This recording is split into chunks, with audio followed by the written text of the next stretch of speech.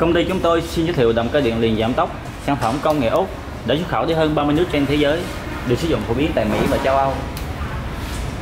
Trong kho hàng của công ty chúng tôi luôn có giảm tốc từ 0,2 kW đến 7,5 kW và có tỷ số truyền từ 1 phần 3 đến 1 phần 200. Sau đây là giảm tốc 0,8 kW, 1 ngựa 1 HP. Đây là một giảm tốc chân đế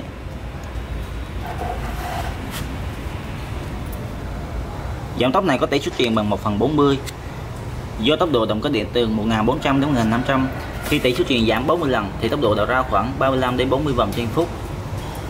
Trục của dòng tốc có đường kính là 32mm Ampe định mức khi đấu tam giác là 3,67A Khi đấu sau là 2,12A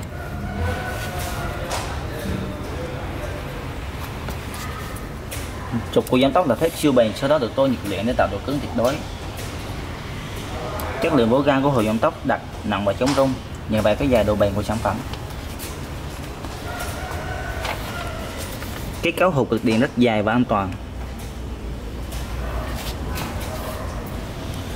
Phía ngoài giảm tốc được sơn ba lần bằng công nghệ sơn tự động. Quy trình sơn có hấp sái để nước sơn bền nhiều năm.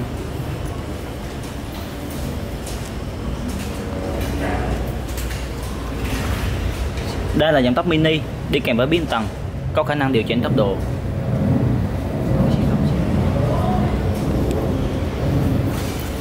Và đây là một số loại hộp số, motor có sẵn trong kho hàng của công ty chúng tôi.